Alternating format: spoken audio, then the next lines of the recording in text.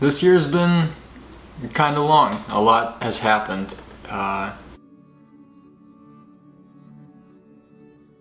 if I could dissect a few things from this year, they would be number one, prototype, prototype, prototype. Nothing is final.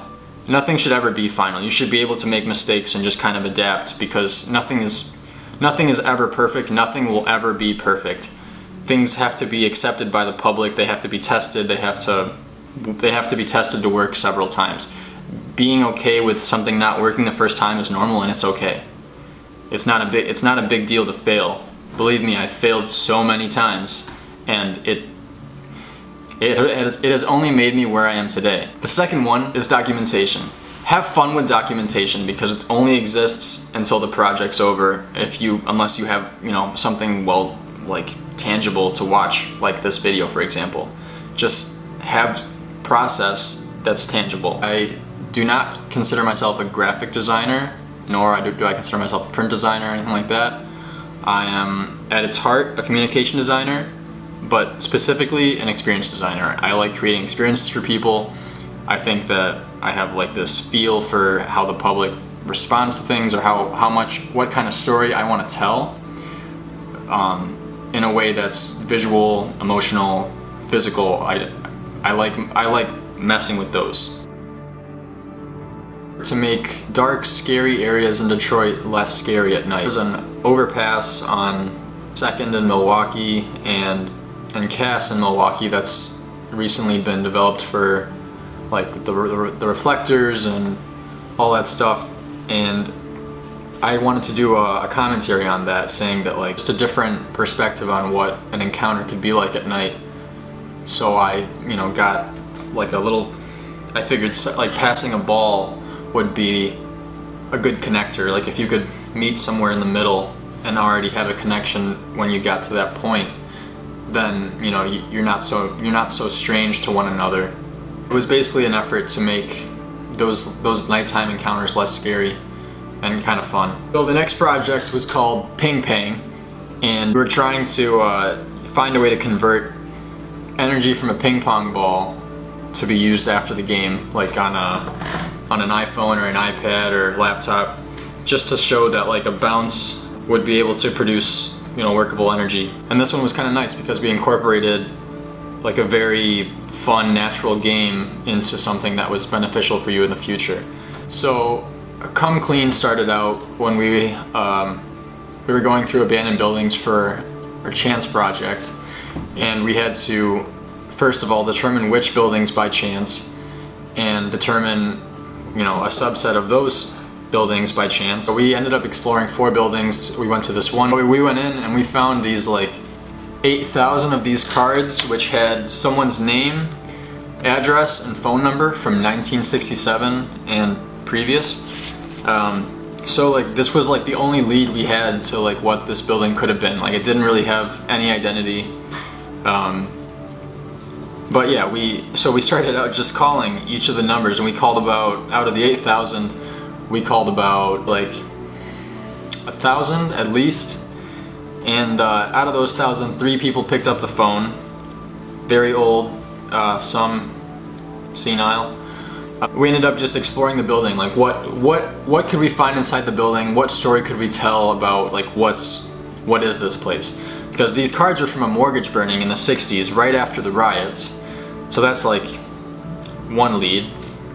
And others were we thought it was we, we thought it was a theater. We were trying to find like a name for this project really fast because we were trying to find permission to like you know go inside legally so we weren't like you know running around scrambling to not get caught. I'm the owner of the building, called him up and said you know like listen we want to beautify your building and uh, we you know we might paint but we our intention is to like project the beautiful history that the building has on it. We didn't really have a solid plan at the time. We just said, you know, we want to beautify it. We might do some painting. We're gonna, you know, end up projecting on it. And he gave us permission. He, we, uh, we had like a, a, legal document signed saying that like, you know, we were allowed to do everything. And we, so we started like, you know, thinking, how can we project on this? You know, first we have to repaint the building. We have to make it look nice during the day so that it can also be clean during the nights when projecting on it. It'll look all right. And then, um, yeah, we just kind of like run and gunned it. We got a bunch of paint. Okay, we, we, we wanted to make, make sure that we got this color. The paint was inspired by the color of the cards, the color of like the paper, how old it was like texturized, which is why we picked that orange. And, uh, and we wanted to give the building a new name because the future home of New Beginnings was going to be built, but never was. It never got completed, so the name was up there, but it was like decrepit. We wanted to like give it a new name. We wrote "Come Clean" on top because not we weren't necessarily cleaning the inside of the building or like physically cleaning, but we were cleaning the image that it gave the neighborhood because this was not like a very like appealing neighborhood to the average person. It, it didn't have like neighborhood qualities. There were two houses across the street, which at first I was intimidated by, but they ended up being the most helpful source of like equipment and you know, like having a generator. So shortly after that project, I was losing a lot of weight. I was peeing constantly. I had no idea what was going on. I was drinking water all day and it was just going like right through me and I, uh, I found out that I had type 1 diabetes mid-semester. So I, uh, I was kind of like learning a different degree while getting my graphic design backslash communication design degree at the same time. But yeah, I was faced with what my senior thesis was going to be about and I decided to do it about the type the type 1 diabetic lifestyle and really kind of engage like what's going on, how does it work, how, is, how does it work to one who doesn't understand it? How can someone with diabetes appreciate the work I'm going to do? Um, so I decided to start a vlog, which you're a part of right now, and just kind of like get everything out. If I'm going through, you know, um, an episode, then I turn the camera on and I record myself going through, you know, a hypo attack or a hyper attack where I'm low or, or really high on blood sugar. And you know, it became a really useful tool because I would be able to address a lot of the, the problems that are going on like currently that are like serious problems but be able to laugh about them later on. Um, and kind of and, and if you could laugh about your disease then you kind of have a grasp on it. Whereas you know if, if it freaks you out then it kind of controls you. Um, so I propose to make this channel the, the Type 1 experience, um, T1E as opposed to T1D, and um, and it kind of took off. Has uh, kind of evolved. I'm I'm not just vlogging anymore. I, I want to be you know a part of the the YouTube experience.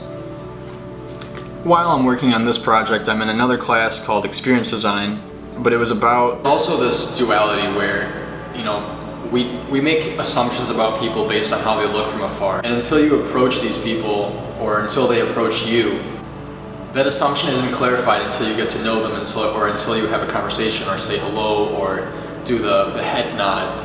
It's not clarified until you get personal.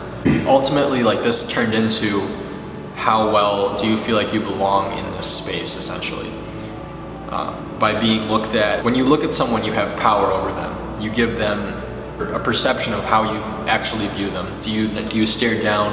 Do you you know go on your phone, or are you the person to say hi or give a head nod, or you know? It was really testing your character. If you get stared at, if you get you know looked at like that by someone of a different race or of a different gender, etc. How does that make you look as a person. Thank you for being a part of my senior review. I will not see you next year for the same thing. Forgot to say.